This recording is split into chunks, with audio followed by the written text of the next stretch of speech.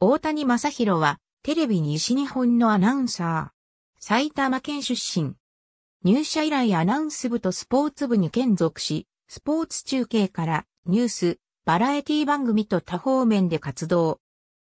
第21回 FNS アナウンス大賞でスポーツ部門を受賞した。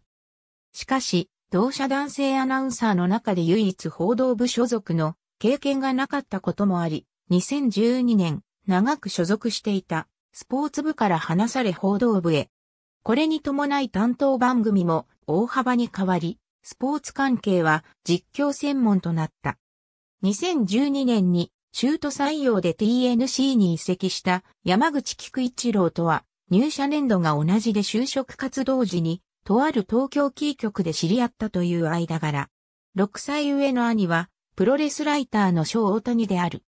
テレビ西日本の男性アナウンサーは報道番組担当時は原則として報道部兼属となり、スポーツ関係はアナウンス部所属の形で実況のみの担当となる。